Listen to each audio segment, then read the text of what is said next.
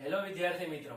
પ્રથમ વિડીયોની અંદર આપ સૌએ ખૂબ જ સારો એવો પ્રતિસાદ આપીને અમારા એક હજાર ને પચાસ વ્યૂ કમ્પ્લીટ કરાવ્યા છે. એ બદલ આપ સૌનો ખૂબ ખૂબ આભાર. અને અત્યારે આપણી ચેનલના બે હજાર સબસ્ક્રાઈબર પણ પૂરા થયા છે. એ બદલ પણ આપ સૌનો ખૂબ ખૂબ આભાર. આપણે છેલ્લા વિડીયોની અંદર ચાલુ ભૂતકાળ વિશે વાત કરેલી. આજે ત્યાંથી આગળ વધીએ તો ચાલુ ભવિષ્યકાળ તમને મનમાં એવું થશે કે ચાલુ ભવિષ્યકાળ, તો ચાલુ ભવિષ્યકાળની જે વાક્ય રચના છે, તેની અંદર આવતું હોય છે ત્વરતા plus will plus be plus I N G નું રૂપ પ્લસ કર્મ પ્લસ અન્ય શબ્દ. અને ચાલુ ભવિષ્યકાળનું મિત્રો પેસિવ બનતું નથી. એટલા માટે ચાલુ ભવિષ્યકાળ આ એક્ટિવ પેસિવના ટોપિકની અંદર આપણે ભણવાનો નથી. એટલે આ માત્ર તેની વાક્ય રચના છે. ત્વરતા plus will plus be plus I N G નું રૂપ ફર્મ અને અન્ય શબ્દ.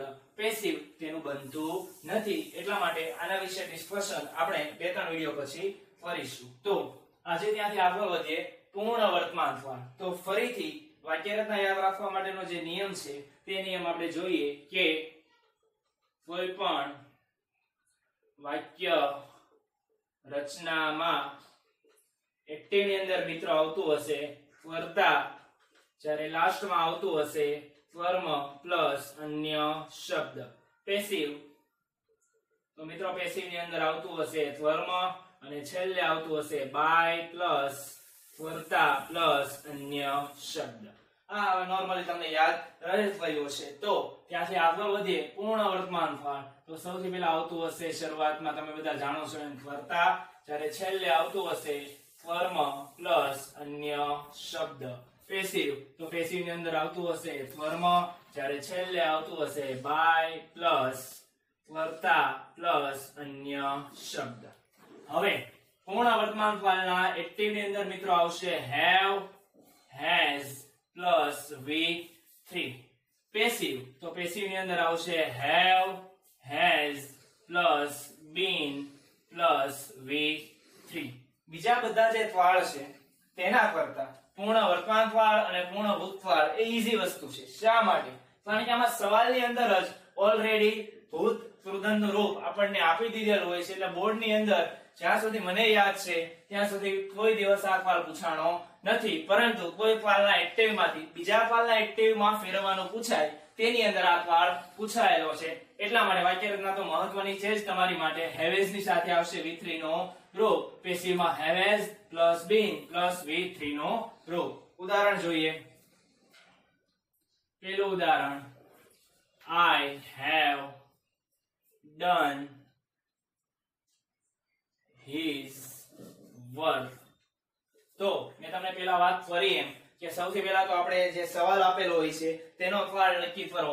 આની અંદર આપણને આપેલું છે, have plus v3 નો રૂપ એટલે આ ફળ શા માટે બહુ નથી પૂછાતો? તો તેના પાછળનો રીઝન એવું છે કે આમાં સવાલની અંદર જ તેમને v3 નું રૂપ આપી દેવું પડે. એટલા માટે આમાં પહેલેથી v3 નું રૂપ આપેલું છે, એટલે તમારે આમાં v3 નું રૂપ વિચારવાનું રહેતું નથી. સીધું જે લઈ લેવાનું. તો આપણે જઈએ આ ફળ તો આ વાક્યમાં ફળમાં બનશે હિઝ વર્ક have અને આઈ બનશે વર્તા તો આનો ફરીથી નિયમ કે આઈ વી, યુ અને ધે ની સાથે આવશે હેવ, જ્યારે હી, શી અને ઇટની સાથે આવશે હેઝ. આ પ્રમાણે. આઈ વી, યુ, ધે સાથે હેવ અને હી, શી સાથે હેઝ.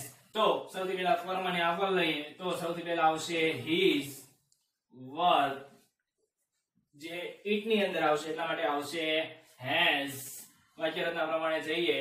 બીન ડન પછી બાય આપેલું છે આઈ ફરીથી રિવિઝન કરી આઈ નું થઈ જશે મી નું us.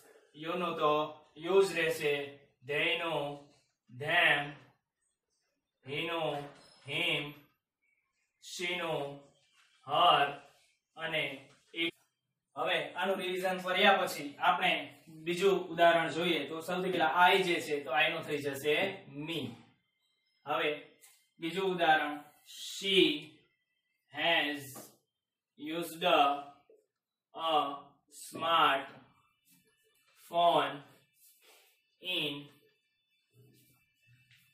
today's match. તો સૌથી પહેલા આપણે કઈ રીતે નક્કી કરી શકીએ કે આ વાક્ય પૂર્ણ વર્તમાન કાળનું છે.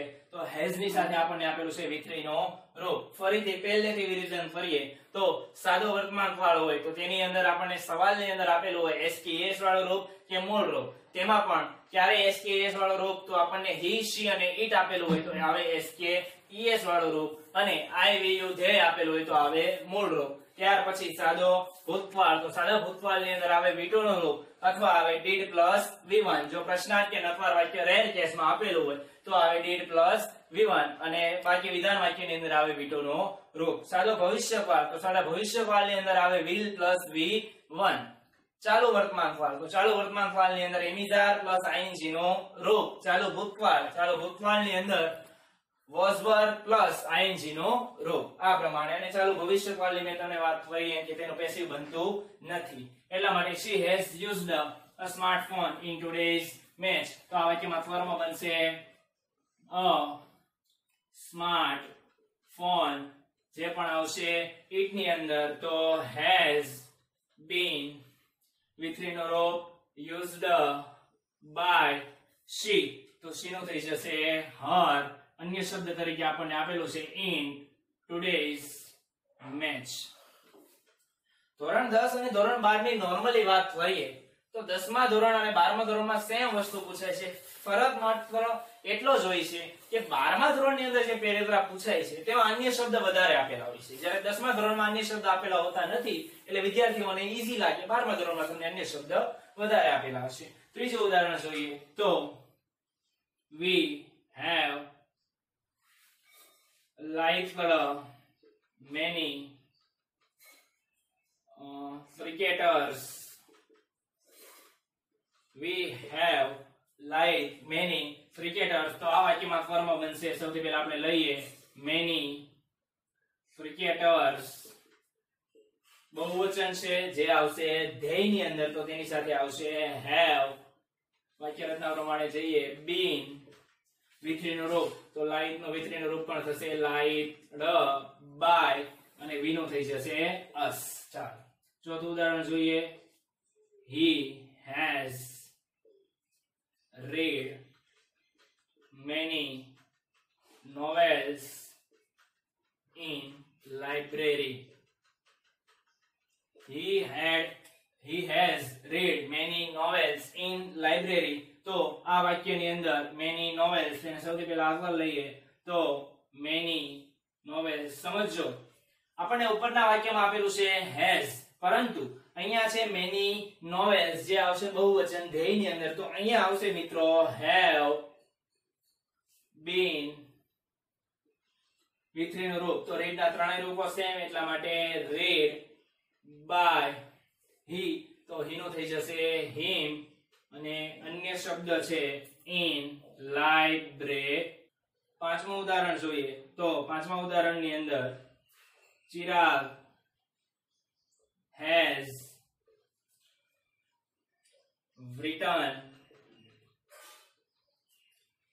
his own novel. તો આ વાક્યની અંદર ફોર્મ બનશે ઓન novel. નોવેલ નો મતલબ થાય નવલકથા તો આની અંદર હિઝ ઓન નોવેલ જે આવશે it ની અંદર, તો તેની સાથે આવશે હેઝ બીન વિથરીન રૂફ તો વિથરીન રૂફ ઓલરેડી આપેલું જ હોય છે.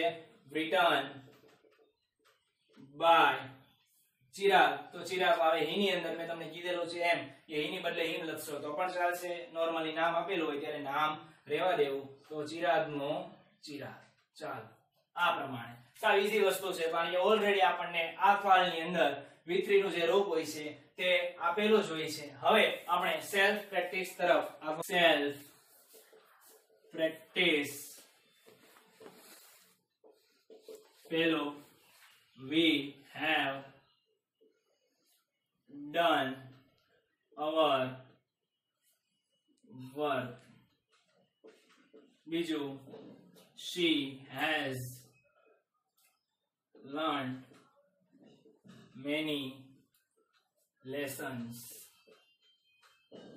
Triju, he has like his parents.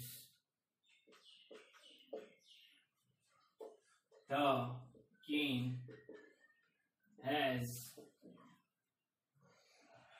done his new project.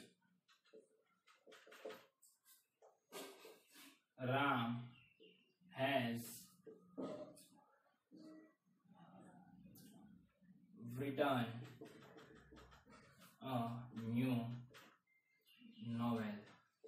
આ પાંચ વાક્યો તમારે સોલ્વ કરવા અને મને એ જાણીને ખુશી થાય છે કે ઘણા બધા વિદ્યાર્થીઓ કોમેન્ટની અંદર આના જવાબ આપે છે અને ઘણા વોટ્સઅપની અંદર પણ જવાબ સેન્ડ કરે છે. આ પ્રમાણે જો તમે સેલ્ફ પ્રેક્ટિસ ના વાક્યો સોલ્વ કરશો અને જો તમે કોઈ પણ ગવર્મેન્ટ એક્ઝામની પણ તૈયારી કરતા હો, તો શ્યોરલી આ ટોપિક તમને તેની અંદર ફોર્મમાં આવશે. જ્યારે આ ટોપિક પૂરો થશે, ત્યારે હું ગવર્મેન્ટ એક્ઝામમાં પૂછાયેલા જે એક્ઝામ્પલ છે, એ પણ આપણે લઈશું. સૌથી પહેલા આપણે ધોરણ દસ અને ધોરણ બારની અંદર બોર્ડની અંદર જે પેરેગ્રાફ પૂછાયેલા હશે, તે સોલ્વ કરીશું.